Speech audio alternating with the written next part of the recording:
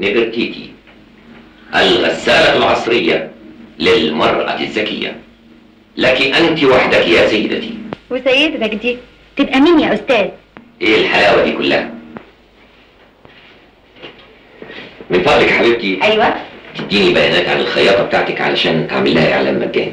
يا حبيبي دي حلاوة رباني هتعمل لها دعاية إزاي دي بقى؟ إيه؟ نفرتيتي تاني؟ هما لسه بيعملوا لها دعاية. أنت مش عارف يا صلاح إن الهبابة دي مرمية في الحمام من ساعه ما اشتريتها أكيد غلطتك أنت يا حبيبتي. سلام تلاقي غسلت فيها. لا يا حبيبي لازم تقول للناس الحقيقة. تقول لهم إن دي أسوأ غسالة في التاريخ وإنها بتبوظ لو حد اتجرأ وغسل فيها. وكمان ملهاش قطع غيار. وتبقى دي هي بقى النهاية. يعني الواد مرزوق يشرب بسلامته يلاقي أبوه مرفوض وعواطلي. بس أنت قول الحق وما يهمكش. اولا مرزوق لسه بدري عليه قوي. ثانيا حتى لو اترفدت. أم مرزوق موجوده أمال أنا امرأة عاملة ليه؟ ها؟ يا حبيبتي انت مش هتطولي. انت طبعا دلوقتي رايحة عرض خاص. أيوة. وأكيد مش هيعجبك الفيلم كالعادة. هتمسكي اللي عملوا الفيلم واحد واحد تسلخيهم وطبعا واحد منهم هيتوسط لك عند رئيس التحرير عشان يقعدك في البيت ويسددك. ما تخليك ظريف بقى وتيجي معايا. ده فيلم حلو قوي. لا يا ما حبيبتي تيجي بدل ما انت قاعد لوحدك. لا معلش روحي انت شوفي شغلك وسيبيني أنا اكمل شغلي. طيب. نفرتيتي الغسالة الكهربية اللي ما والله! لو الملكه نفرتيتي عايشة واستعملت الغسالة دي لكانت دشتشت على دماغ اللي عملوها. يا سلام. أنا نفرتيتي قال. bye bye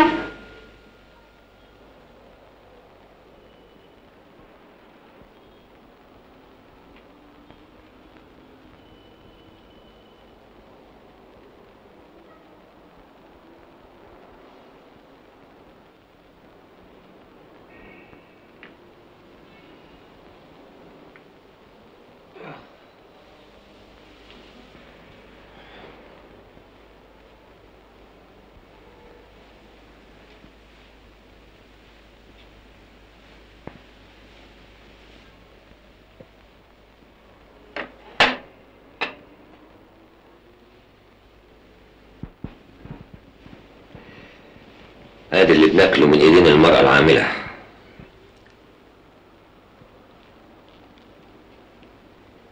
نبرتيتي الله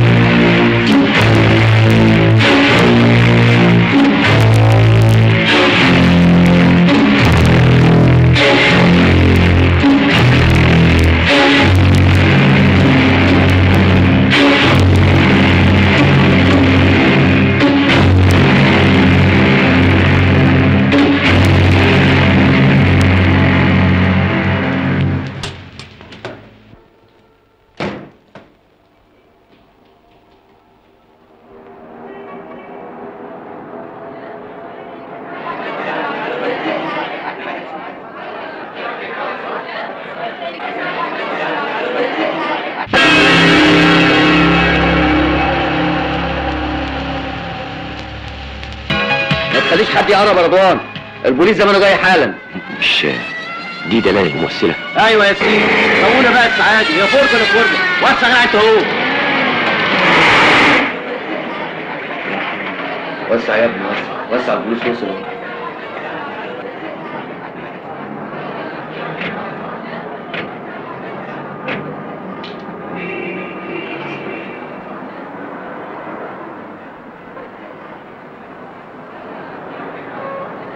مين فيكم اللي اكتشف الحادث. لو سمحت يا فندم. سيبوه.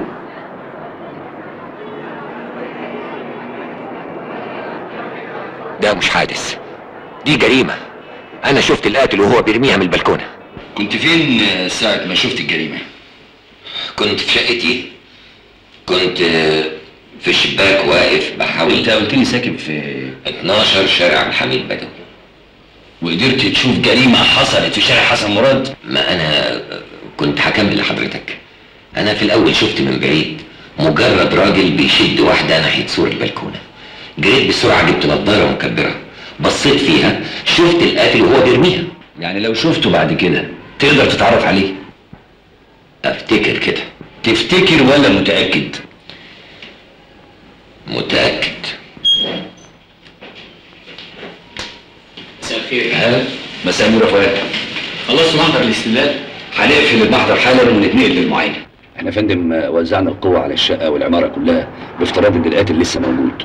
إذا كانت عايشة لوحدها زي ما البواب قال يبقى القاتل من بره. مش معقول. يرميها ويفضل يستنانا. ده الاحتمال الأغلب. إنما يعني من باب الاحتياط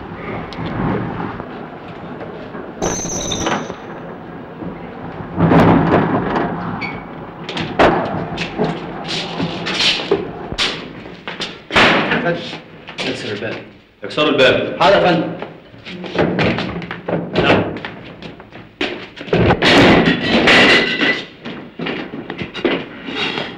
ده كان مقفول بالترباس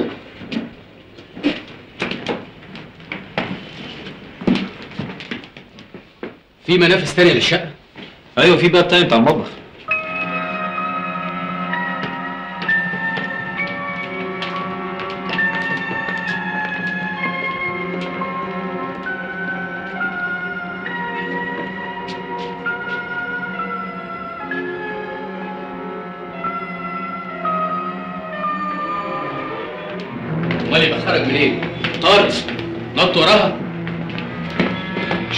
الحمام اللي بيطل على مواسير العمارة مفتوح وموارد طب نشوفه. خليك مكانك أحسن. وأوعى تلمس أي حاجة.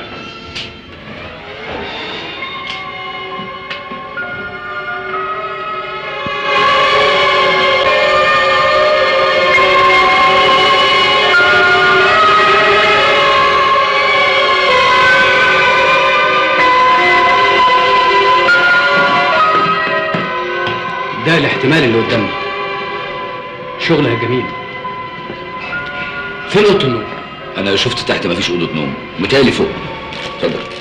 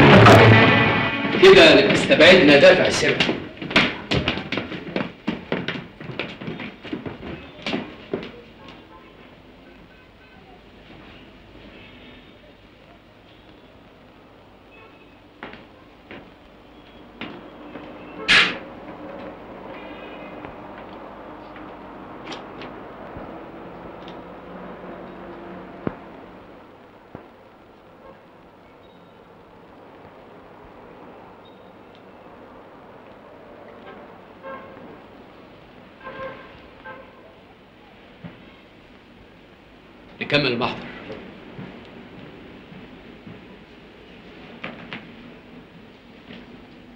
وبانتقالنا إلى شقة القتيلة وجدنا باب الشقة مغلق من الداخل بترباس وكذلك باب المطبخ وأن المنفذ الوحيد هو نافذة الحمام. وبفحص غرفة نوم القتيلة وجدنا كمية من المجوهرات قد تم حصرها. ونأمر بانتداب الطبيب الشرعي لفحص الجثة وتحليل محتويات المعدة لتحديد سبب الوفاة. كما نأمر بانتداب خبير المعمل الجنائي لرفع البصمات من مسرح الجريمة. أستاذ فؤاد اتفضل شوف.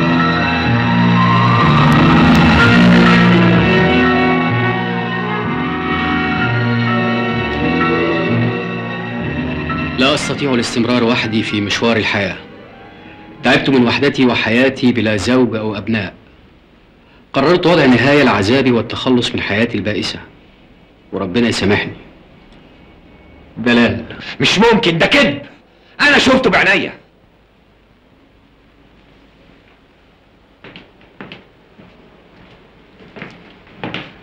كما نأمر باستدعاء خبير الخطوط لفحص الخطاب الذي تركته القتيلة قبل وفاتها وتحدد فيه أسباب انتحارها. يا فندم ده مش انتحار. القتيلة كانت بتقاوم وبتصرخ والقاتل بيشدها ناحية سور البلكونة. مش ممكن تكون هي اللي كاتبة الجواب ده. هي النضارة بتاعتك فيها ميكروفون كمان؟ لا طبعا. ده مجرد استنتاج مني. لأن القاتل كان حاطط إيده على بق القتيلة وكانت هي بتحاول تزحها. النضارة لسه موجودة. حضرتك ممكن تعمل تجربة وتتأكد بنفسك جبت النضارة منين؟ تستعملها في إيه يعني؟ النضارة دي بتاعت المرحوم والدي كان بيشتغل في القوات البحرية وكان عايش معايا في نفس الشقة وليه أوضته اللي فيها كل حاجته لغاية دلوقتي والحقيقة إن دي أول مرة أستعمل فيها النضارة يستكمل التحقيق بعد صدور تقارير الطبيب الشرعي وخبير المعمل الجنائي وخبير الخطوط.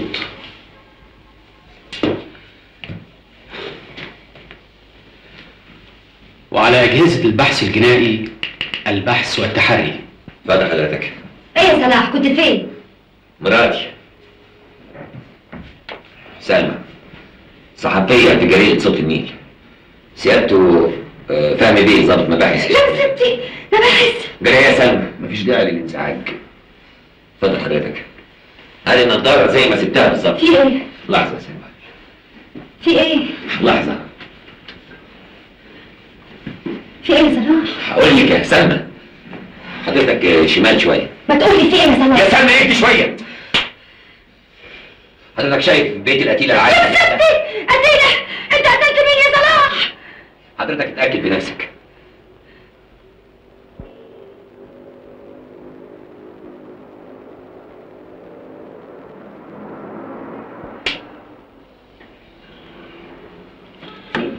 كفاية كده ليلاني أنا عايزك تجيني الاسم بكرة الصبح عشان نكمل. حضرتك تسمح لي بسؤال. لا اتفضل. أنتوا ليه قيتوا الحادثة على انها انتحار؟ عارف دفتر قيد القضايا في الإسام بيطلع عليه محررين الحوادث في الصحف. أنا عايز الحادثة تتنشر على إنها انتحار. يعني حضرتك برضه مش مصدقني بعد بعد ما شفت بنفسي أنا خدت القرار ده. أنت الشاهد الوحيد على القاتل اللي ما كانش يتصور إن حد يشوفه من المسافة دي كلها. أنا عايزه يطمن إن إحنا صدقناه لحد ما نوصل له. دي حكاية ولا في الأحلام. اسمع يا صلاح أنا عايزاك توعدني وعد بصحيح مش زي وعدك لظابط المباحث. أنا أستاهل اللي حكيت لك. اسمع ما أقول لك بس الخبر ده تحجزهولي. خبر إيه بس اللي هحجزهولك؟ اعطل سر العدالة عشان أحجز لك خبر. تصبح على خير. أنت من أهله. بكرة الجرايد كلها هتنشر إن الخبر ده انتحار. أنا بس اللي هقول للناس الحقيقة. يا خسارة يا صلاح لو كنت تعرف الراجل ده كانت بقت خبطة العمر. للأسف إن موت إنسان ما يسويش أكتر من خبر. خبطة صحفية. الإحساس ده أنت لا يمكن تفهمه لأنك مصمم إعلانات مش صحفي. أنا دلوقتي مجرد إنسان عارف حقيقة معينة يهمه إنها تظهر.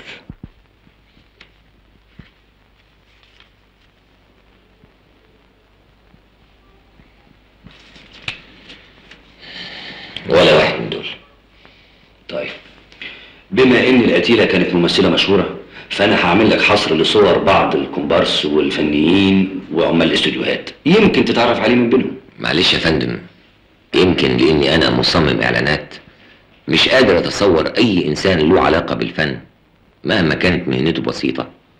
وينزل على مواسير. عموما حيث إن القاتل ما كانش معاه نضاره مكبرة زي بتاعتك ساعة ما نفذ جريمته فأنت ممكن تحضر معايا التحقيقات مع كل معارف دلال. جايز نوصل له. دي عشرة عمري يا بيه. 15 سنة ما سبتش فيهم بيت الست دلال يوم واحد. لكن كانت في الشهور اللي فاتت. ابتدت المرحومة تبعت لي بات عند أهلي كانت بتقول عندها قصص عايزة تقراها على رواقة يعني لما كنت سبت البيت يوميها. أنا فعلا أنا كنت على علاقة بدلال. وكل الناس كانت عارفة. أنا ما عنديش أسرار عشان أخبيها. لكن فجأة دلال قطعت علاقتها بيا. وفهمتني إنها عندها حالة اكتئاب. حتى الشغل بطلته. أنا مش عارف كانت عايشة إزاي. أنا بعد ما أخرجت لها معظم الأفلام اللي عملت لها اسم في السوق ابتدت ترفض جميع النصوص اللي قدمتها لها بحجة إنها هايفة وابتعدت عن الوسط. حتى سهراتنا في بيت زميلتها عايدة أمين ابتعدت عنها. طول عمرها سلوكها غريب. الحاجة الوحيدة العاقلة اللي عملتها في حياتها كان قرارها بالاعتزال ما رضيتش أسألها عن السبب عشان ما أحرجهاش. أكيد خافت إن الكاميرا تكشف التجاعيد اللي في وشها خصوصا إن ما عندهاش الموهبة اللي تسندها في سنها. إذا كانت دلال بطلت شغل في السنتين الاخرانيين قدرت إزاي تغير فرش شقتها وعربيتها؟ جابت منين كل المجوهرات والفلوس اللي لقيناها في شقتها؟ ورصيدها في البنك. إزاي يزيد شهر بعد التاني؟ أكيد يا فندم في مصدر سري. برافو. مين هو بقى المصدر السري ده؟ وليه دلال خبت علاقتها بيه؟ مع إن ده ما كانش سلوكها مع كل اللي عرفتهم قبل كده. يمكن خافت تتحسد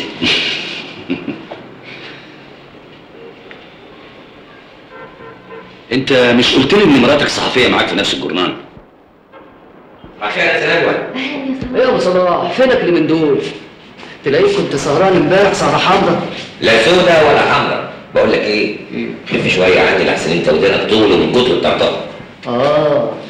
صباح الخير يا صاحب كريم. صباح الخير يا سيدي. إيه أخبار الصفحه الفنية معاك؟ أنت ما دام ما اتعلمتش الفن يبقى مالكش دعوة بيه. أنت جاي ليه؟ جاي أشوف مراتي. هو ده مكتب مراتك؟ لا. يبقى قوم بقى شوف شغلك. الله الله إنت إيه حكايتك؟ مزاجك النهارده مقلوب ليه؟ يا أخي مش لاقي ولا خبر فني واحد عليه. القيمه لا حول الله. بقى يا حبيبي شوف شغلك. طيب طيب. صباح الخير يا سعادة أهلا صلاح إيه يا مدام منى. أيوه. جوزك لسه بيشجع الزمالك؟ قدر يا أستاذ صلاح ويا ويلي لو الزمالك اتغلب فيه. إيه يا ولد أنت صباح الورد. أنت لسه عندك شغل إيه؟ أنت كل ما تيجي لازم تحذر مع كل واحدة. حبيبتي انت ناسية ان عندنا ميعاد دلوقتي مع الظابط تاني آه صحيح ده أنا نسيت. يلا. يلا. عاوزك تنشري شهادة صلاح بأنه شاف القاتل وأنه كان خايف يدخل نفسه في مشاكل. لكن عدم القبض عليه لغايه دلوقتي خلاه يقرر إنه يتدخل ويدلي بشهادته. ليه حضرتك عايز تنشر الخبر ده دلوقتي؟ إحنا خبينا شهادتك عشان نتحرك بحرية لكن ما قدرناش نوصل له. فلازم نرغمه على الحركة والكشف عن نفسه. والحركة دي معناها إنه يتخلص من صلاح باعتباره الشاهد الوحيد؟ بالظبط محاولة القاتل التخلص من صلاح هتأكد شهادة صلاح. ده أولا. ثانيا هتخلينا نوصل له. أنا لا يمكن اقبل وضع صلاح في تجربة زي دي. لازم يعني يموت عشان حضرتك تصدقه؟ أنا مقدر خوفك عليه لكن ثقي إنه هيكون تحت حراسة مشددة. ولو صلاح مات قبل ما توصلوا للقاتل أو حتى بعدها. أنت هتفولي ليه على الصبح؟ اقعدي بس عشان نقدر نتفاهم مع بعض. أنت مش كنت بتحلمي بخبطه صحفية؟ أيوه بس مش في صفحه الوفيات. يا ستي عمر الشقي بقى أنت إذا رفضتي هنشوف صحفي تاني غيرك ويروح عليك المجد الصحفي.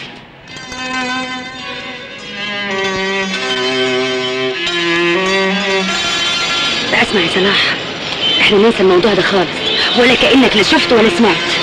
معقول يا سلمى؟ ده انت كنت زعلانة مني علشان موضوع نبرتيتي وكنت عايزاني أقول الحقيقة عن مجرد غسالة. أيوه بس الحقيقة هنا ثمنها غالي قوي. انت عارف يعني إيه احتمال إنك تموت؟ يعني لا أنا ولا مرزوق يبقى لنا لازمة.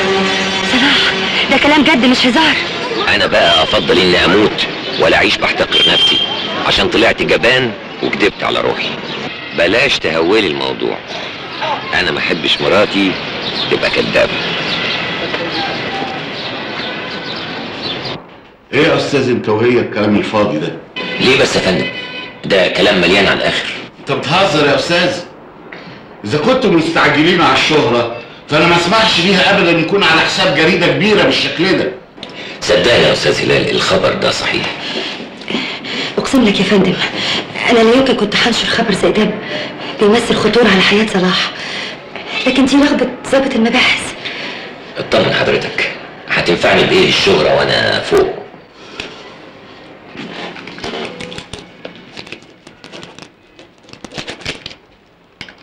إذا ثبت إن الخبر ده بعد كده متفبرك يبقى آخر يوم لكم في الجريدة.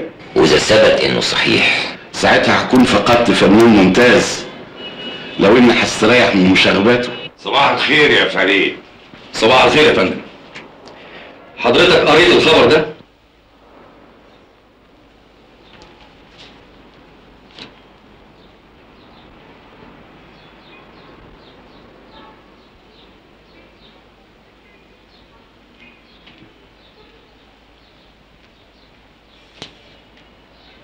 هنتصرف.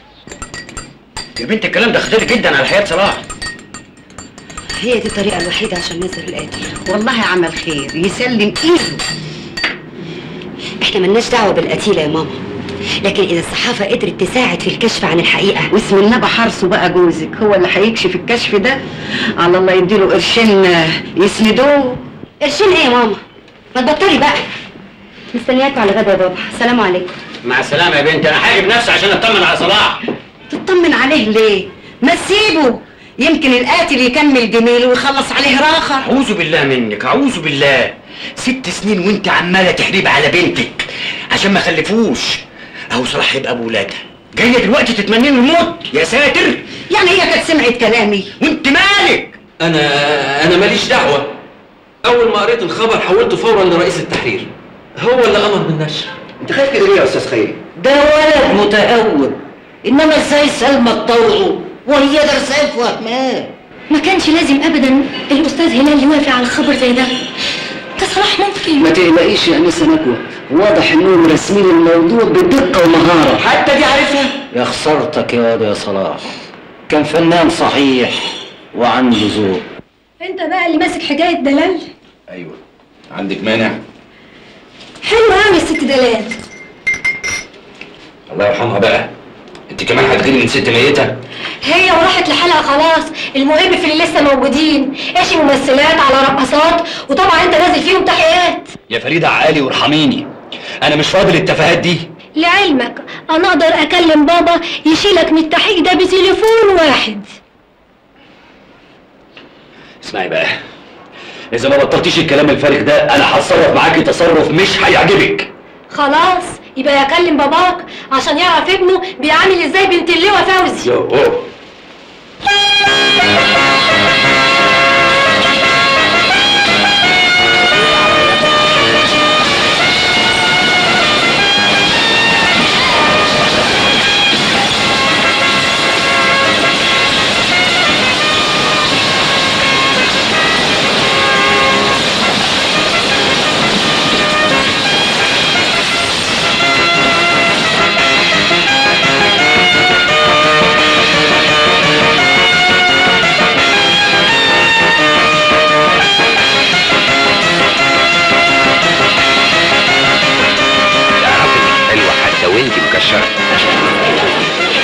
يعني نتفسح دلوقتي؟ يا حبيبتي لازم نتفسح ما لقيتش غير المكان الزحمه ده. طمني يا حبيبتي. بص اللي حوالينا دول من رجالة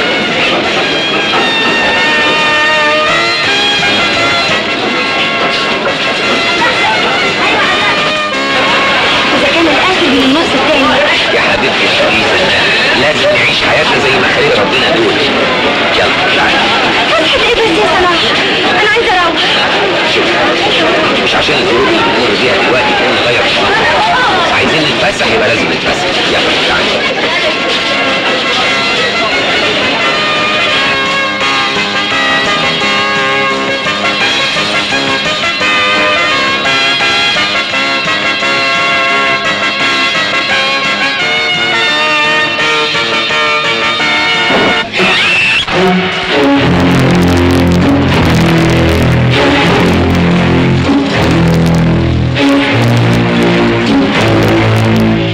صلاح دلوقتي.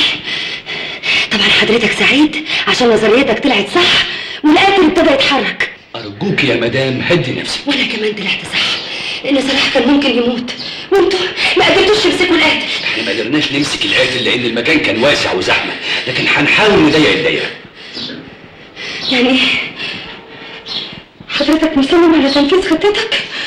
عندك اقتراحات تانية؟ مش طالبة غير انكم تحموا صلاح ان شاء الله حتى تحطوه جوه سجن المهم يوصلوش أرجوك يا مدام بلاش ننقل اليأس ده لصلاح. عايزين نحافظ على شجاعته وروحه العالية لغاية ما ننتهي من مهمتنا. ممكن؟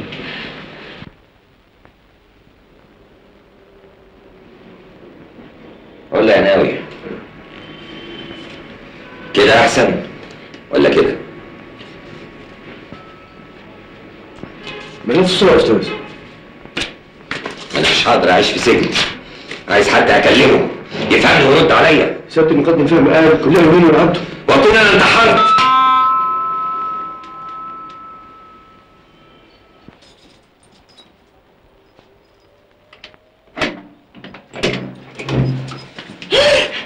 مين حضرتك؟ أنا أنا سلمى. بطاقتك فين؟ سيبها يا ناوي. دي صاحبة البيت مراتي. بعد إذنك. مساء الخير يا صلاح. أهلا يا حبيبتي. معلش يا يا ناوي ده أنا بطشيه جديدة. تعالى تعالى أنا جبت لك معايا أكلة هتاكل صوابعك وراها المهم إن أنت جيتي. يا حبيب قلبي أدي كده جعان؟ جعان كلام. عايز حد أكلمه يفهمني ويرد عليا. مش معقول. بيتنا يتحول لسجن. معلش يا صلاح. تعالى كل تعالى أهو السجن ده لمصلحتك. بدل ما تخرج وألف بعد الشهر يحصل لك حاجة.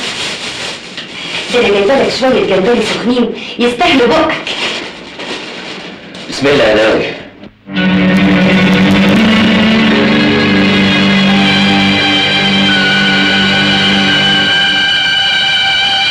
ولكن الكل معانا ما يصحش. مش معقول. بس ما نقول عليا فين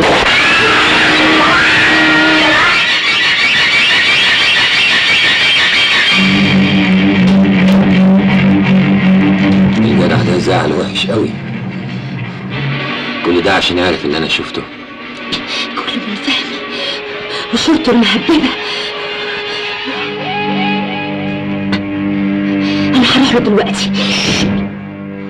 ناوي قال محدش يتحرك من مكانه الحرس من تحت وحصل المنطقة كلها. وأكيد هيجيبوني. قوم يا أستاذ كانت سليمة. يا ناوي كان حد اشتكى لك آه. منه لله. الصورة دي كنت بحبها. صورة إيه يا صلاح؟ صورة إيه دلوقتي؟ القاتل اختفى. اتبخر. ده شغل الشبكة كاملة منظمة. بس إزاي يغلط للمرة التانية؟ وإحنا هنستنى لما يصلح غلطته. ما تقلقش عليا يا فندم. حضرتك كمل شغلك وأنا جاهز لمواجهة أي مخاطر في الدنيا. لو سمحت يا فندم أنا بطلب إنك تشوف مكان مناسب لصلاح يستخبى فيه أو حتى يسافر. لغاية ما تقبضوا على القاتل براحتكم. اهاجر المسألة ما وصلتش للدرجات دي يا مدام سلمى. أنا بطلب إنك تحافظ على صلاح ولو بالعافية. أنا أنا أنا, أنا مش فاهمة إزاي أنتوا مستهترين بحياته للدرجة دي. يا فندم أنا جيت علشان أقول لحضرتك إنه ما دام مش نافع لا خروج ولا حبسة. أنا قررت أرجع شغلي. خلي بالك من نفسك يا صلاح. كان نفسي اكون معاك يا حبيبتي أنت جيتي معايا قبل كده مرتين. المفروض اني اكون جنبك لا بقى أنت عايز تتفرج عليا وأنا بموت. يا عوض لا مؤاخذة يا أستاذ راس مسعد طلبني من الجراج من تليفون البوابة. رحت ارد عليه لقيت فيه جلوشه وبعدين الخط قطع؟ يوه. عوض طلبوه في الجراج وحسب في الاستعلامات. خلينا واقفين. معلش. خير يا أبو علي. قالوا لي عدى على رئيس التحرير قبل ما تخرج. طلعت له لقيته في اجتماع مجلس الإدارة. طب يلا بينا. بقول لك إيه أنا هفوت على ماما أشوفها كانت عايزاني ليه وهسبقك على البيت وحياتي بتتاخر ما تخافيش أنا هصور شوية منتجات واقدم لهم بعض التصميمات واحصلك عليهم مع السلامة مع السلامة.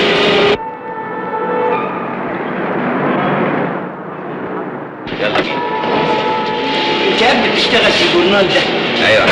أنا عندي مشكلة وعاوزك تنشرها لي في الجورنال. حاضر. متشكر. قوي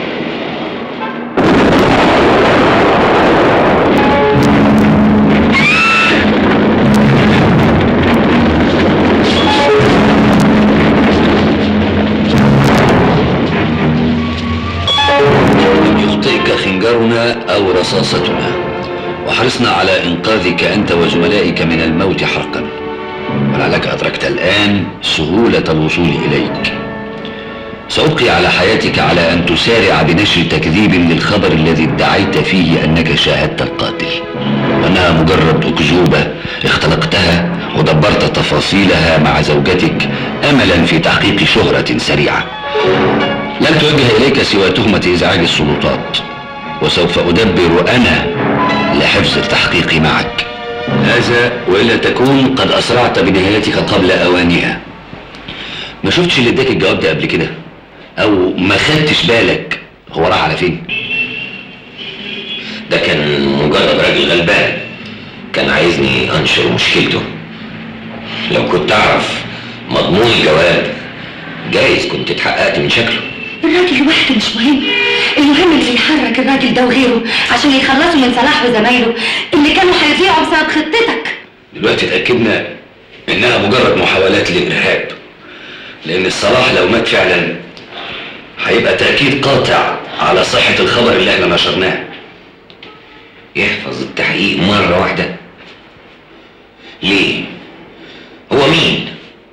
إحنا هننفذ اللي جه في الجواب. وأطلع أنا كهدان ده آخر أمل لينا. أنا هقدمك بنفسي للنيابة وهنتابع المصدر اللي هيتدخل في سير التحقيق. ولما نوصل له كل حاجة هتتكشف. يا سلام! دي حكاية مؤثرة وجميلة قوي لكن اسمعوا يا أساتذة أنا مش هسمح لكم ابدا تتلاعبوا بسمعة الجورنال وكرامته. يا أستاذ هلال الخبر ده هينقذ حياة صلاح. مش أنتوا اللي عملتوا فلاسفة وطلبتوا نشر الخبر الأولاني. حضرتك فاكر أنا كنت سعيد قد إيه وأنا بترجاك تنشر شهادتي رغم خطورتها على حياتي. بحب على إيدك وأترجاك. ما تنشرش إني كذاب وتافه. الكذب والتفاهة في الحالة دي مش هنسابه ليك يا أستاذ هنسابه للجريدة. الجريدة مكانتها هتزيد وتكبر يوم الحقيقة ما تظهر ونمسك القاتل. ساعتها هنحكي للناس إحنا ليه عملنا كده؟ خبطة يا أستاذ هلال. صح صح. أعمل فيكوا إيه بس؟ تفتكر في حد هيتدخل فعلا؟ هنشوف. أنا هسلمك صلاح وحضرتك تقدمه للمحاكمة بتهمة البلاغ الكاذب. خلي حد بقى يجيله ويقول لي احفظ التحقيق ده. يبقى مستغني عن بقية عمره. إيه يا مدام البلبلة والإثارة اللي بيعملها جوزك ده؟ بلغيه إن ده أسلوب رخيص ومكشوف. يا أستاذ عبد الكريم الموضوع لسه ما انتهاش. فاضل إيه التاني يا مدام سلمى؟ فاضل الحقيقة لما تظهر. وهي راحت فين الحقيقة؟ أنا مش فاهم إزاي الأستاذ هلال أشر على نشر التهريج ده. الأستاذ هلال فاهم الموقف كله. فاهم إيه يا مدام سلمى؟ ودلوقتي مفيش خطر على صلاح. مش كده يا سلمى؟ إزاي؟ إزاي؟ ده يمكن يتحبس ست شهور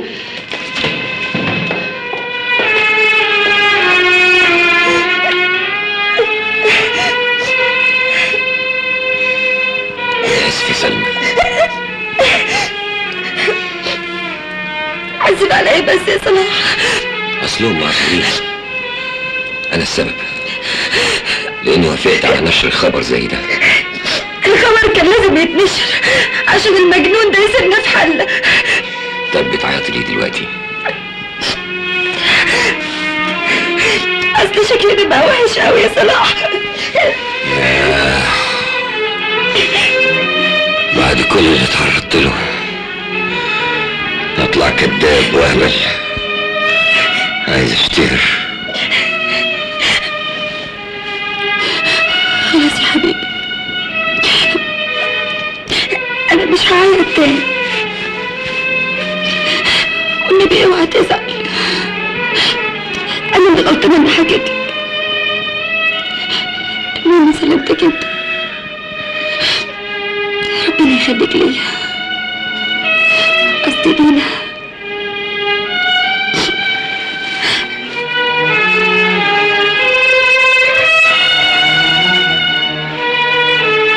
والله أنا عارف هودي وشي فين المرزوق لما يكبر ويعرف حكاية أبوه.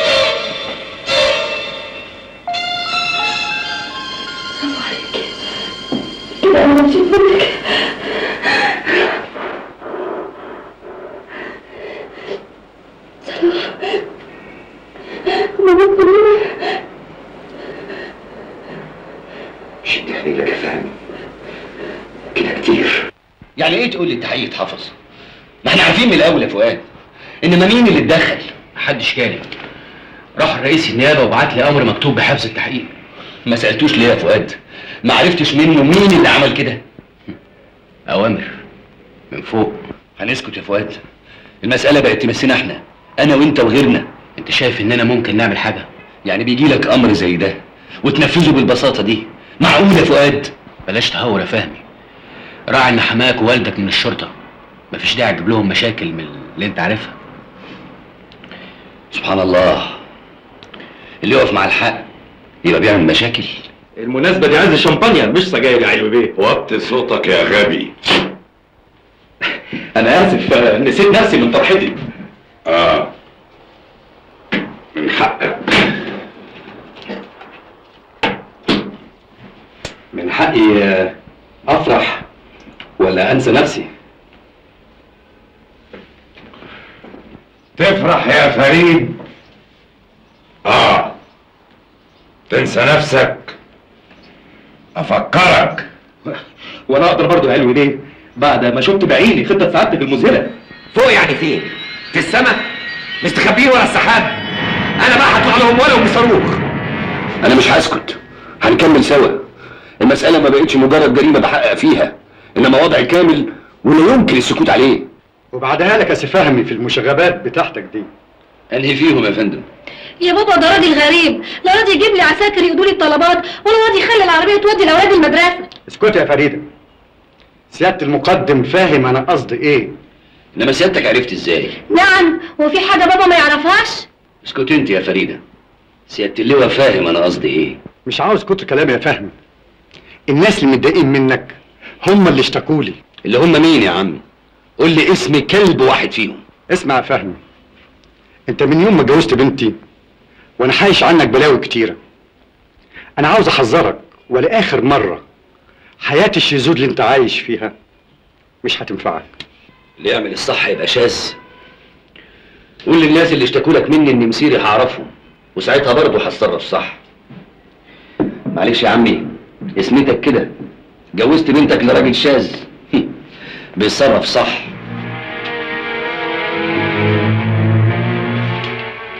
ده أمر بنقلك لشعبة البحث الجنائي بمديرية أسيوط.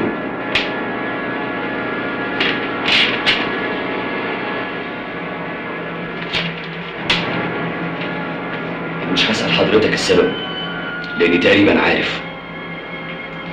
بس أنا كل اللي برجوه منك بشكل شخصي إنك تأجل الأمر ده. قضية الدلال انتهى والجواب ثبت إنه بخط إيدك.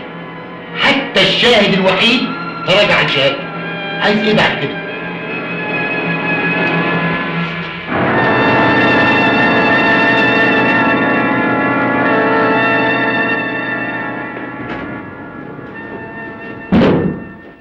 مستعجلة على إيه؟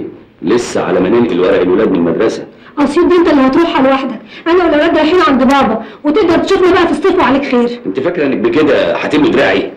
يا سيدي لا دراعك ولا رجلك أنا خلاص تقدري تروحي في المصيبة اللي تناسبك بس مش هسمح لكم تاخدوا الولاد عشان تفسدوهم وتطلعوهم نسخ تانية منكم. أنا وبابا فاسدين؟ والله يا فهمي لا يكون بابا مدفعك ثمن الكلمة دي؟ وهنشوف مين فينا اللي هيروح في مصيبة. إيه اللي بيحصل ده؟ ومين وفين؟ وكل أدوات الاستفهام اللي في الدنيا. اللي حصل حصل يا صلاح مش هنقدر نغيره. دلال ماتت واستريحت وأنا طلعت كذاب وفهم اتشحطط النتيجة إيه؟ النتيجة إن الحقيقة ماتت مع دلال. صلاح أنت متضايق عشان التكذيب اللي اتنشر. قلت معلش. أستحمل منظري لهبل في وسط الناس على ما الحقيقة تبان ويعرفوا إني أنا كنت صح. يوه بكرة الناس اللي حوالينا ينسوا يا صلاح. طب وأنا؟ أرجوك اعتبر اللي فات كابوس وصحينا منه. خلينا في اللي جاي. في مرزوق.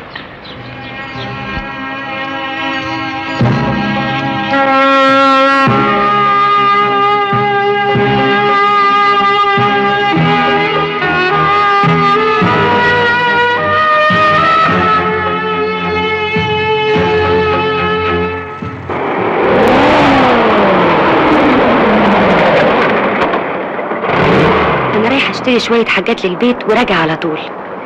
اوعى تروح كده ولا كده؟ أنا لا هروح كده ولا كده. المهم أنت ما تتأخريش. حاضر.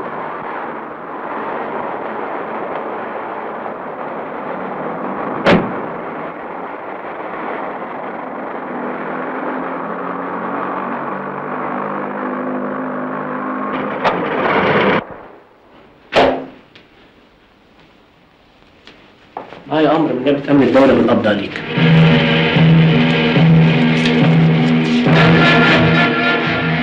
أمن دولي ليه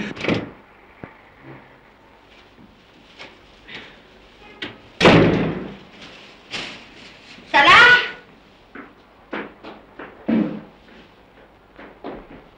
صلحتي أنا جيت صلحتي صلاح أنا مستغرب إزاي مش عارف تهمتك؟ كل حاجة هي قدامي على المكتب انت متهم بالخيانة العظمى والتآمر مع دولة أجنبية. وادي المنشورات اللي طبعوها زمايلك وادي اعترافاتهم. وادي اعترافك. يا دوب على الامضة ليه؟ يا سايبه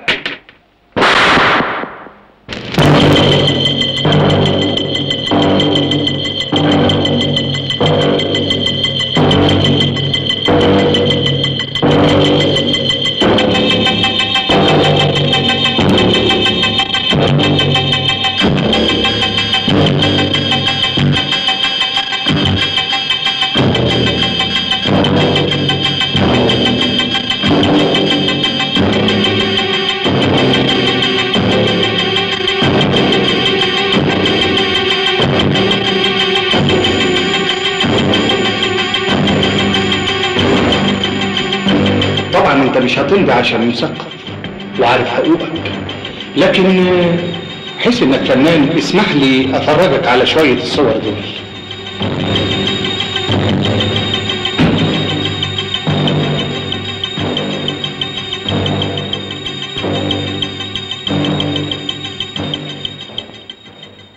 دي أجهزة وصلت لنا قريب. من أحدث طراز. كله بيمشي بالكهرباء. طبعا أنت عارف أهمية التكنولوجيا في البلاد النامية. ولو انت راجل قلبك كبير وبتحب الحيوانات عندنا طلبك. دي كلاب بتحب اللحمة ودي؟ لا وإيه؟ ما بتفهمش في تنظيم النسل. وإذا ما كنتش بتحب الكلاب عندنا ناس يقوموا بنفس المهمة. وعشان نثبت لك إنك غالي علينا. هنديك الحرية في اختيار الطريقة اللي نبتدي بيها معاك. تحب نبتدي بأنهي طريقة؟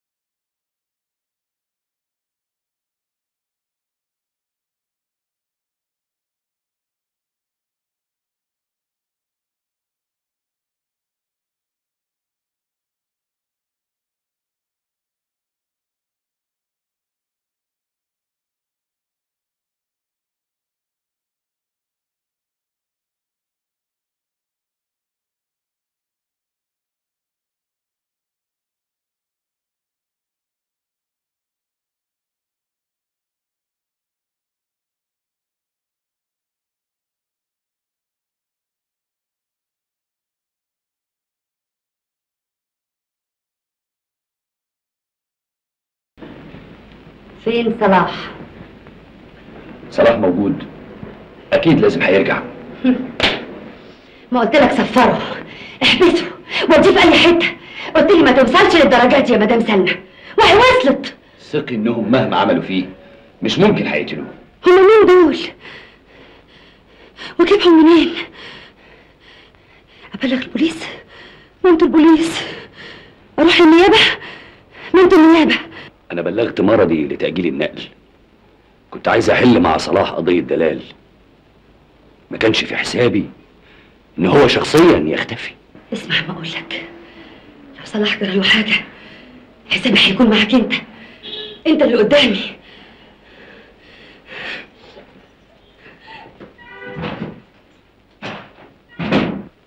برافو اسمح لي أحييك إنك مضيت.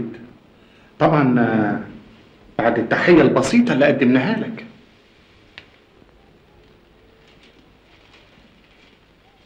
أظنك دلوقتي عرفت إن رقبتك في إيديا وممكن ألف حوالينها حبل المشنقة في أي وقت. بس أنا مش هعمل كده رأفة بيك. بس خلي بالك ده درس لازم تفهمه. اوعى تنساه.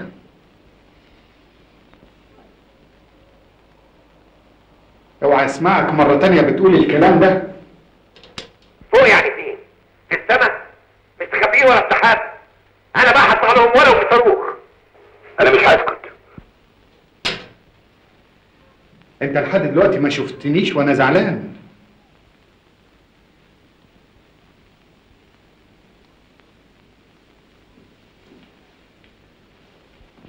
أرجوك يا بابا اتصرف. اعمل أي حاجة. انت انت كنت ضابط كبير واكيد لك نفوذ. كان نفسي أساعدك يا بنتي. لكن نفوذي ده كان أيام زمان. دلوقتي البلد ليها اللي بيمشوها.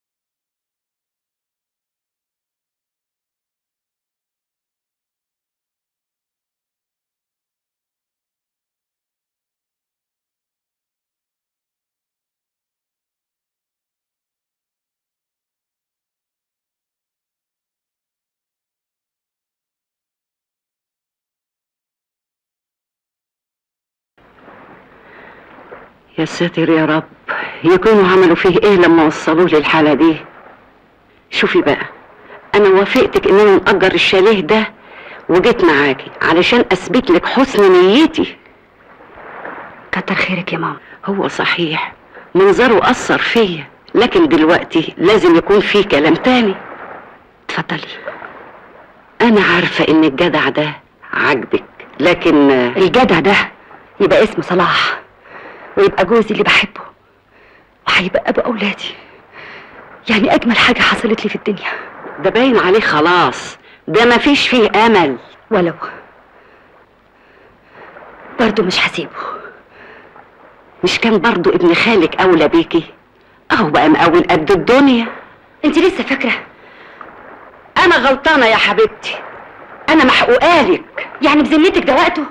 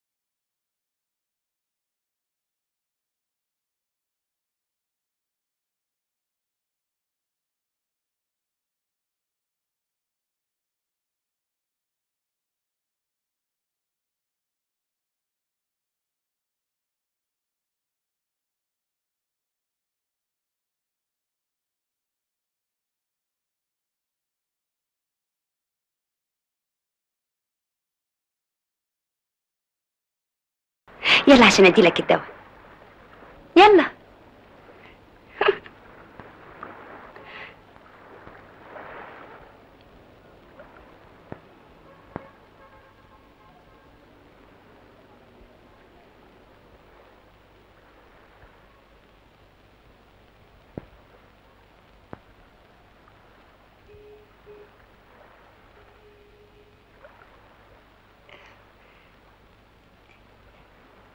أنا بقى اللي هديلك الدواء النهارده. ولا أنت استحليت البت الممرضة هي اللي تديهولك؟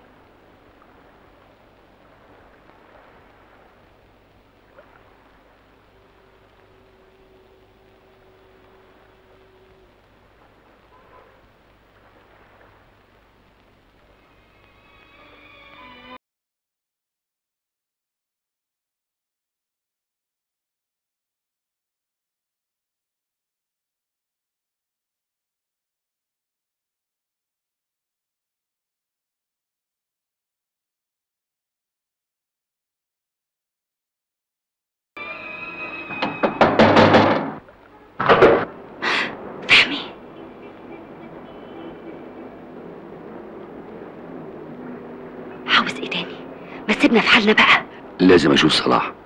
أرجوكي. صلاح. صلاح عنده صدمة عصبية. وبنعالجه من منوم. والدكتور منعه من أي إزعاج. وأنت ما وراكش غير الإزعاج والمصايب. ما قالش إيه اللي حصل؟ ما نطقش حرف واحد. مفيش فرق بينه وبين الميت غير النفس. لازم يتكلم. لازم نعرف اللي حصل. نعرف. وبعد ما نعرف هنعمل إيه؟ أرجوك كفاية لحد كده. إذا كان ده تمن المعرفة إحنا مش عاوزين نعرف أي حاجة في الدنيا. اتفضل.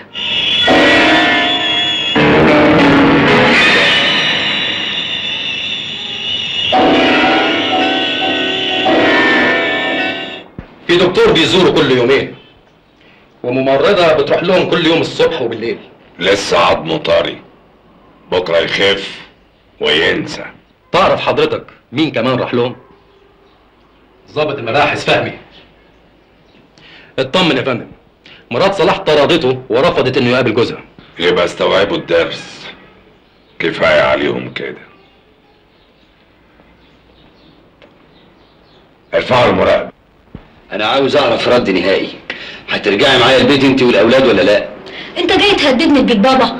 أوعى تكون فاكر إنك غبت عن عيني لحظة. كل اللي أنت بتعمله بيوصلني اول باول. أنا بتكلم في موضوع محدد.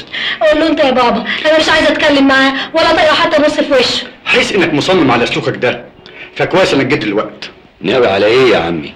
يا تمشي زي ما أنا منتظر منك وتبطل تحريجني مع الناس يا تطلق فريدة. موافقه على الكلام ده يا فريدة؟ أنا عمري ما كسرت كلمة لبابا. ولا أنا كمان هكسر له الكلمة دي. انت طالع يا فريدة.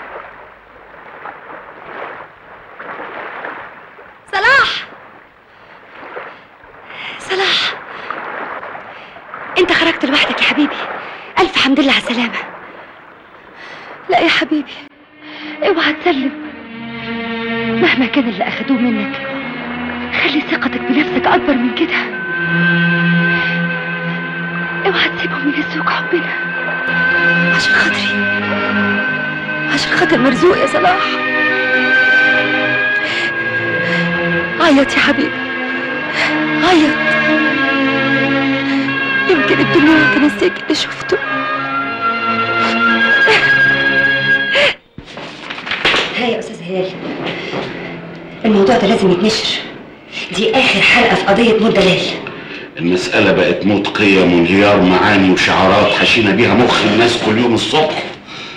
شيء مخجل الصحافه لو نشرت الحكاية دي. وحكايات كتير بتغيب عنها الحقيقة. يبقى لسه في أمل. بس. أستاذ هلال. أنت خايف. خايف على وظيفتك؟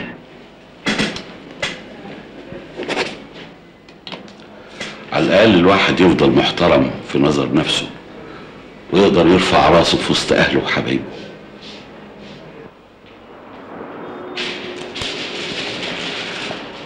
أستاذة سلمى؟ أيوة.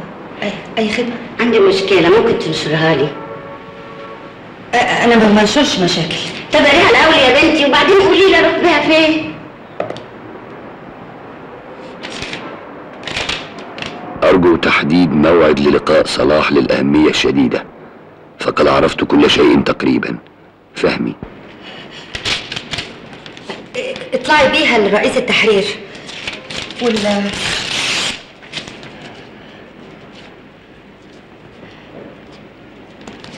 آه، ودي اديها للسكرتيرة. شكرا يا بنتي ربنا يخليكي ويسعدك يا رب.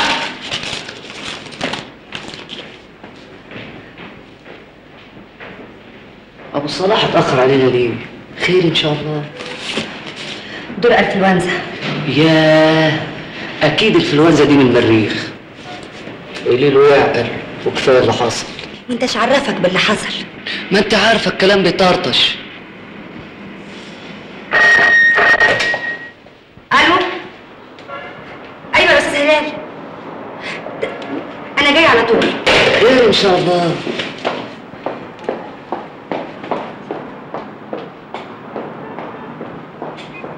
الرقيب رفض النشر. وده سبب ترددي لما سألتيني إذا كنت خايف. أستاذ هلال أرجوك اتصرف. بلغ صلاح إن مرتبه هيصرف له لغاية ما يخف. ده كل اللي أقدر أعمله. مرتب إيه يا أستاذ هلال؟ مرتب إيه؟ هو ما قالش رفض النشر ليه؟ أنا كنت رايح له بنفسي عشان أسأله ليه رفض النشر. وأنا كمان هاجي معاك. الموضوع ده لازم يتنشر. وليه انشره قولي لي سبب واحد. شفتي؟ مش لاقي. أنا بقى عندي يجي سبعين سبب. هقول لك منهم شوية كده. بس اقعدي الأول. اقعدي اقعدي. اقعدي.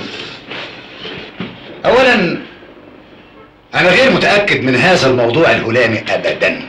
ما إحنا ممكن نتأكد من صحته. يعني ننشره الأول وبعدين نتأكد. طب افرض بقى إنه طلع في شنك. نروح إحنا بقى في ال bye bye. طب أنا لو قدمت لحضرتك كل الاثباتات تنشره؟ ده موضوع تافه. الأستاذ جوزك وباعترافه ما نضربش غير قلم واحد. إيه يعني قلم؟ أصلكم ما شفتوش الضرب اللي على أصله. هناك في الجبهة على خط النار. بلاش الخلط ده يا أستاذ شوقي. القلم ده رمز لكل أشكال القهر الإنساني. رمز إيه يا مدام؟ رمز إيه؟ عايزاني أسبب. في بلبلة وانقسام في الجبهة الداخلية عشان خاطر رمز. يا أستاذ شوقي دي حكاية إنسان حب يكشف حقيقة معينة ولكن هددت حياته وقلمت إرادته. قلمت؟ دي حكاية فردية ولا تهم الرأي العام. الحكاية دي لازم تتنشر عشان مفيش حد تاني يدخل المصيدة. وفكرك لو نشرناها هيبطلوا؟ ما جايز إحنا اللي ندخلها. وبعدين زي ما أنت شايف أنا حجمي قد إيه؟ هعوز لي مصيدة family size أنت فاكر لو رفضت النشر؟ مش هيجي يوم وتدخلها. ما أظنش. قالوا في المثل امشي عدل يحتار عدوك فيك. عدل يعني إيه؟ يعني نمشي زي ما هم عايزيننا نمشي. هم مين؟ مدام سلمى اتفضلي.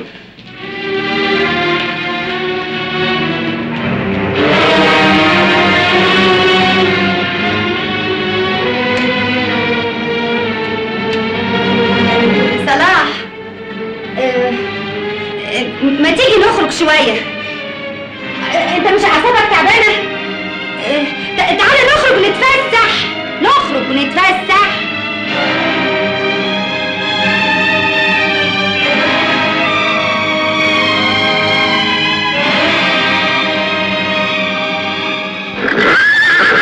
فاهم اتصل بيك إزاي؟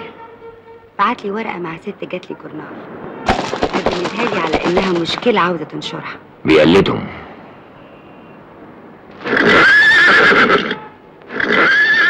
اللي قبضوا عليك لأمن دولة ولا غيرها. مفيش أي أدلة ولا قضية أصلا. كانت محاولة حقيرة للضغط عليك وأنت استسلمت لها بسرعة. ومين بقى اللي عمل المحاولة دي؟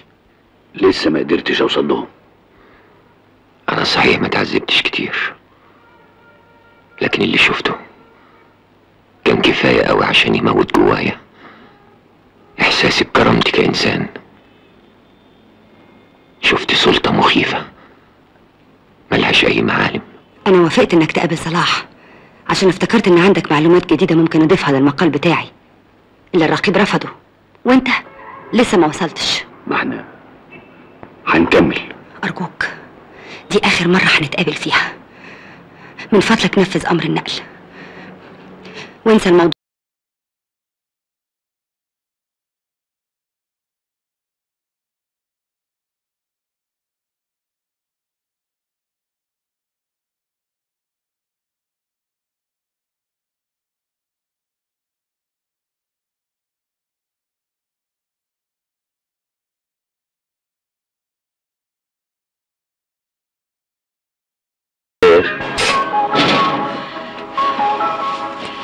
رجوعك للشغل هيساعدك كتير على نسيان الكابوس اللي أنت مريت بيه. صدقني. اللي حصل ده زي ما قال الراجل. يتفهم ما يتنسيش تشربي شاي. لا خليك أنت وأنا هعمل. لا أنا هحط المية على النار وأنت كمليها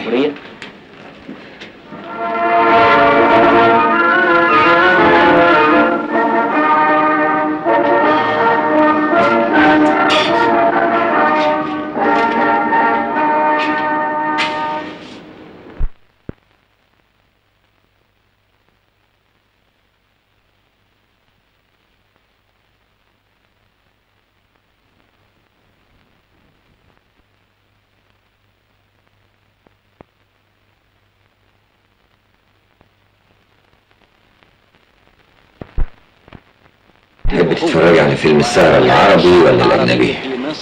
مش معقول يا صلاح انت هتقضي بقية عمرك قدام التلفزيون ولا إيه؟ أمال هم عملوا التلفزيون ليه؟ مش عشان أمثالنا وافق مؤتمر حقوق الإنسان بالقاهرة أمس كده يبقى انت حققت لهم غرضهم يبقوا قدروا يكسروك من جواك أنا خرجت من عندهم جسم سليم ما فيهش أي أثر إبلاغ تقرير المؤتمر لكن الشرخ اللي حصل جوايا مستحيل يترمم وتقديم كل المساعدات الممكنة من خبراء ومنح بموجب برنامج الخدمات الاستشارية في مجال حقوق الإنسان. وكان السيد علوي درويش قد قام بالإشراف على سير التحقيقات في قضية التنظيم السري الذي تم ضبطه في شهر نوفمبر الماضي. تسمع سعادتك هل هناك أدلة كافية ضد أفراد التنظيم السري؟ آه، الحقيقة دي مش مسؤولية أو مهمة أجهزة الأمن إنها تحكم إذا كانت الأدلة كافية ولا لأ. تفتكر سعادتك؟ هل في حكم علينا؟ آه، أجهزة الأمن يا فندم ما بتقدرش عليها دي مسؤولية القضاء والعدالة هتاخد مجراها لما القضاء شفت يا فندم؟ شفت دلوقتي؟ هو مين؟ القاتل علوي درويش لا طبعا. واحد كان بيتحرك في الخلفية. هبتدي إزاي دلوقتي؟ تاني يا صلاح. إحنا لسه بنحاول ننسى اللي حصل. انساه إزاي بعد ما لقيته؟ إذا كنت خايفة تقدري تبعدي. أنا هكمل لوحدي. صلاح! عاوزين نعيش حياتنا بعيد عن المشاكل. نعيش مسؤولين. مكسورين. الموت أهون واشد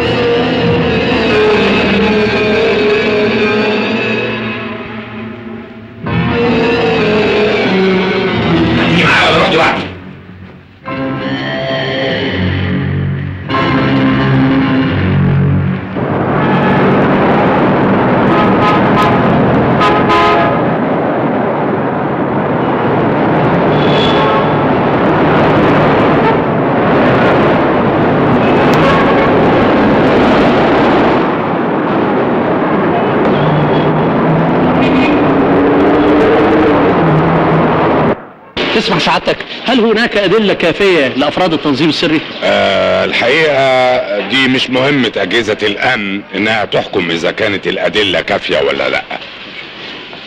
تفتكر سعادتك إيه هيكون الحكم عليهم؟ آه يا فندم. بس هنا.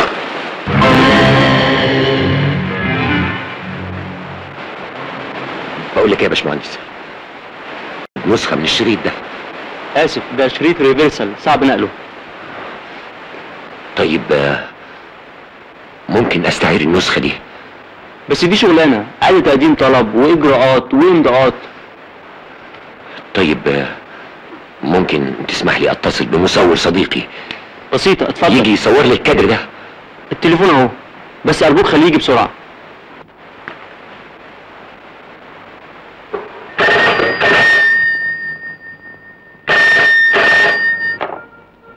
ألو. أنا حسن. أهلا يا أبو صلاح. خير. دلوقتي تحت أمرك. هجيب الكاميرا وأجيلك على طول. صورة مين دي يا صلاح؟ بعدين هقول لك. متشكر قوي يا حسن. أخيرا الصورة اللي فضلت في مخي أنا لوحدي مجرد خيال. بقت صورة على الورق. حقيقة. حقيقة؟ حقيقة بالنسبة لمين بس؟ اولا بالنسبة لي.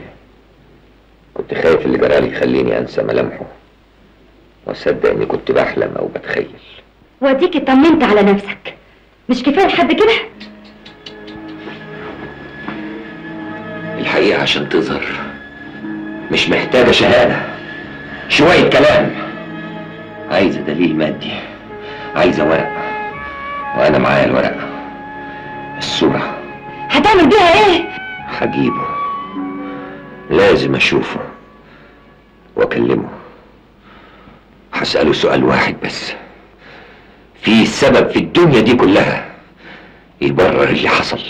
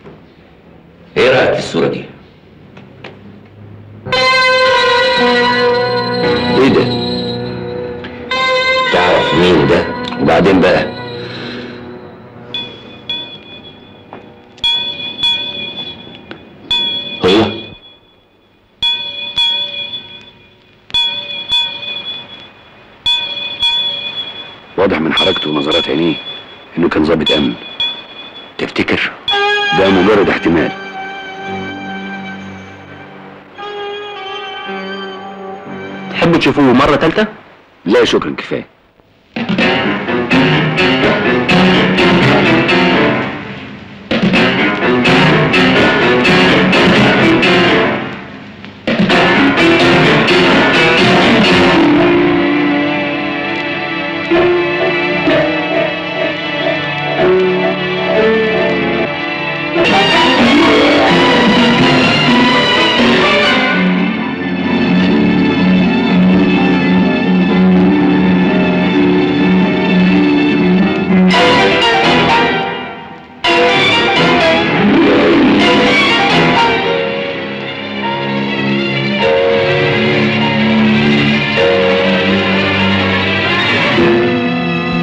بيدور عليك في كل حتة.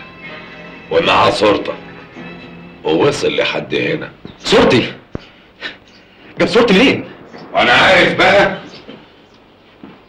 طبعا آه، حضرتك هتتصرف. طبعا يا فريد. بس المهم دلوقتي إن وجودك في القاهرة بقى خطر. يا علوي بيه. وجودي في القاهرة ولا وجودي في الدنيا؟ غبي. تطلع من هنا على طول. تاخد مراتك وولادك وتغوروا في أي داهية لغاية ما أبعت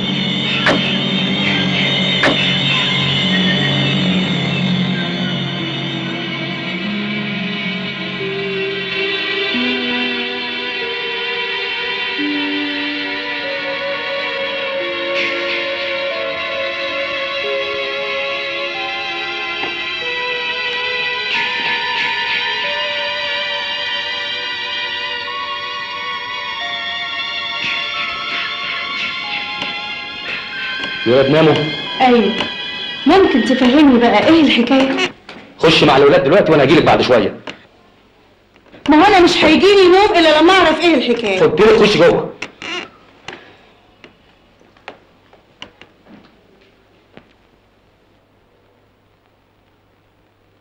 أقر أنا الموقع أدناه أن هذا الاعتراف تم دون ضغط أو إكراه. بدأت علاقتي بالمدعو علوي درويش بالعمل عنده كحارس أمن خاص جدا. كان من ضمن مهامي التوضيب لعلاقة علوي بالممثلة دلال والمحافظة على سريتها.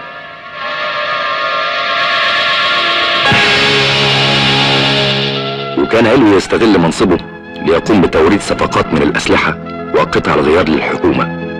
مقابل عمولات ضخمة يقبضها من الشركات الأجنبية.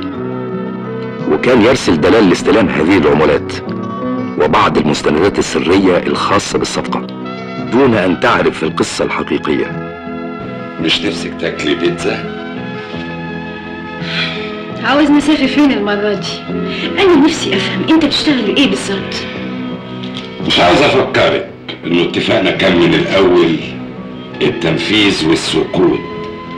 لغاية دلوقتي انت ماشية كويس في النص الأول لكن أسئلتك ابتدت تكتر يا دلال. وكنت أقوم بتسهيل خروج وعودة دلال في كل مرة.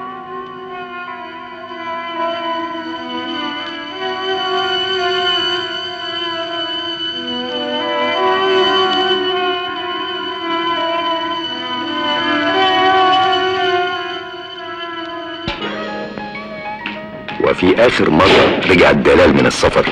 خلاص اطمن مش هسألك تاني. أنا عرفت كل حاجة. نفسكش تسألني عرفت إزاي؟ إزاي يا دلال؟ المسؤولين في إيطاليا اكتشفوا إن في تلاعب في حسابات الشركة وإن المدير بتاعها بيدفع عمولات كتيرة لمسؤولين في بلاد كتير عشان يدخلوا إنتاج الشركة في بلادهم. طب وانت زعلانة ليه؟ حضرتك بتبعتني أقبض لك عمولات رشاوي؟ عمولات رشاوي؟ إيه الكلام الفارغ ده يا دلال؟ لا استنى أما أخلص وبعدين أتريق على كيفك. المسؤولين قبضوا على المدير وهو بيسلمني المبلغ والسندات فحجزوا باسبوري لغاية ما يخلص التحقيق. لكن أنا رحت السفارة وقلت لهم إن باسبوري ضاع فعملوا لي وثيقة سفر رجعت بيها مصر.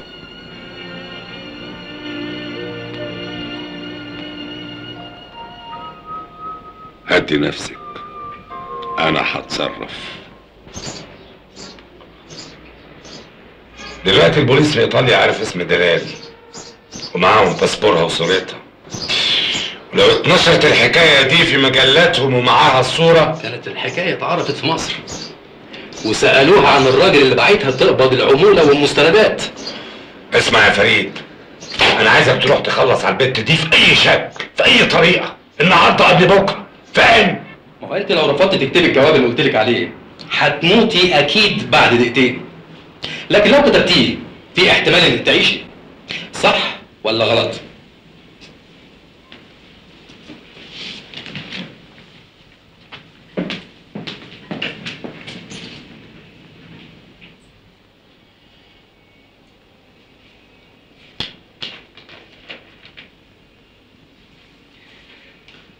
لا أستطيع الاستمرار وحدي في مشوار الحياة. تعبت من وحدتي وحياتي بلا زوج أو أبناء. قررت وضع نهايه لعذابي والتخلص من حياتي البائسه وربنا سامحني. دلال.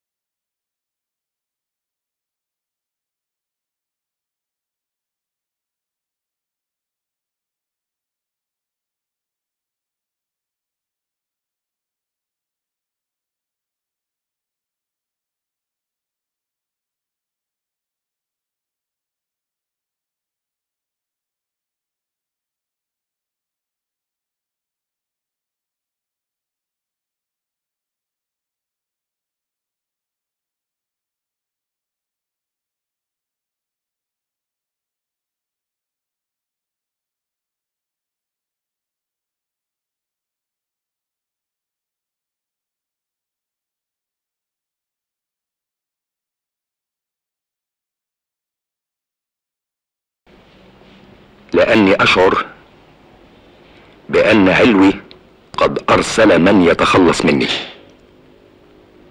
قبل أن يصل إلي البوليس.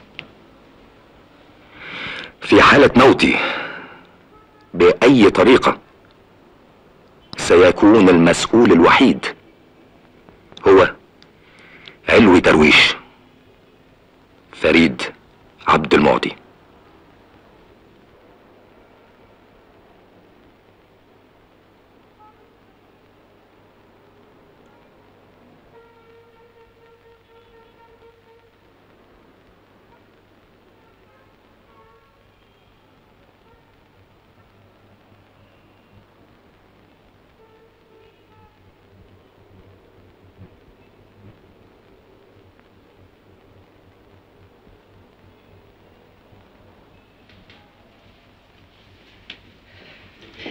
إذا جرالي إذا جرالي أي حاجة تسلمي الجواب ده لظابط مباحث اسمه فهمي مطاوع يا ستي.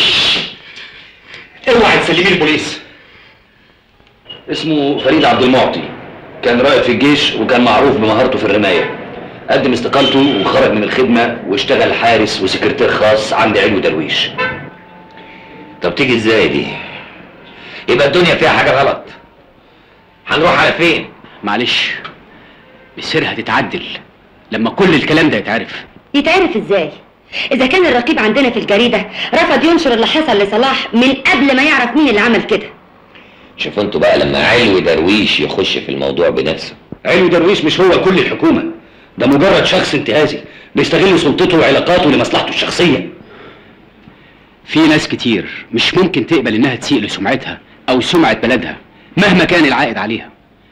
عندكم فهمي مثلا؟ وغيره كتير. يقدروا يقفوا قدام علو درويش وأنا كمان معاهم. وأنا جاهز. لا علو درويش ولا غيره هيقدر يوقفني. بس المهم نتحرك بسرعة. يظهر إنه حس بتحركاتي عشان كده مستخبي عند أهل مراته في 100 رهينة. ما تخافوش. المسألة مش محتاجة أكتر من إذن من النيابة بالقبض على فريد عبد المعطي وكل شيء يتعرف.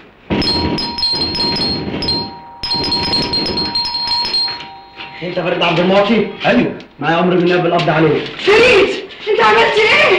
ليه مش راضي تقولي؟ اتصل بعينه وديه في التليفون وقولي له اتقبض عليا. وهتتاكدي بنفسك من براءتي صباح الخير. عايش مش شافك فرنسا إيه دي اللي هتاخدك مننا. مش هتركز بقى يا راجل انت وتشوف اكل عيشك كمان ما في صباح الخير. لا حول ولا قوة إلا بالله. أستاذ صلاح ما تسكتش على روحك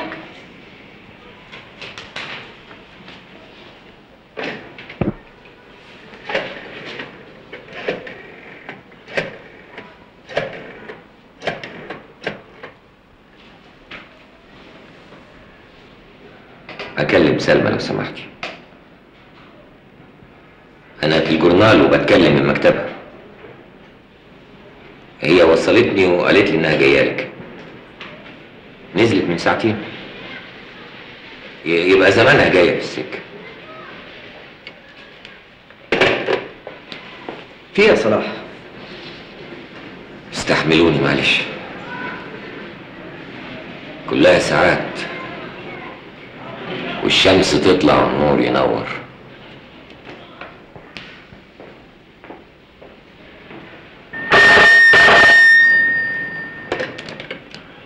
ألو سلمى؟ أكلمها. مدام سلمى هتتأخر شوية. أنت عارف إن أنا مش ممكن أموتها. لكن آه، أكيد عندك فكرة ممكن ترجع لك إزاي. مادام الدرس اللي اديتهولك ما نفعش معاك. يبقى نجربه مع مدام سلمى. انت طبعا عارف هتعمل إيه في المقابلة النهاردة. صلاح! الحقني يا صلاح! اعمل اللي عليه يا صلاح! صلاح!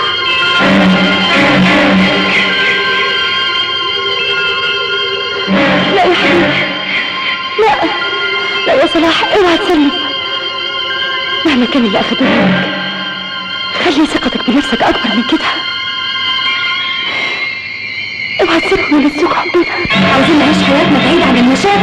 نعيش مسلولين مكسورين. الموت أهون وأشرف. دي كلاب بتحب اللحمة. أستاذ صلاح هو ده نفس الشخص؟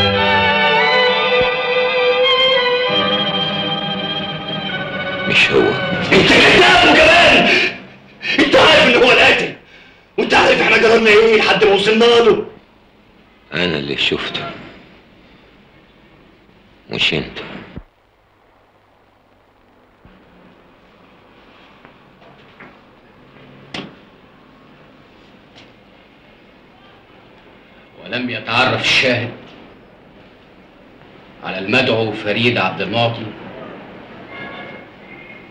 ولذلك نأمر بإخلاء سبيله؟ وأقفل المحضر في تاريخه وساعته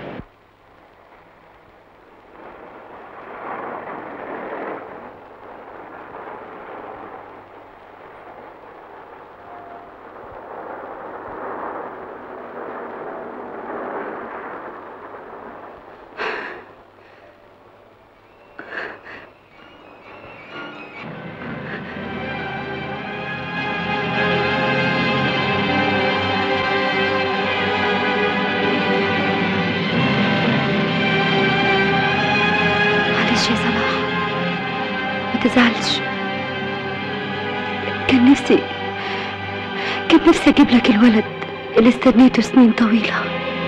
يظهر انه كان عارف اللي مستنيه في الدنيا. رفض إنه يخرج لها. محبش يشوف أبوه. وهو بيتحول من شاهد إثبات لشاهد نفي. خليه دلوقتي يا سلمى. سيبيه يجي في زمن تاني. محدش عارف هيجي منه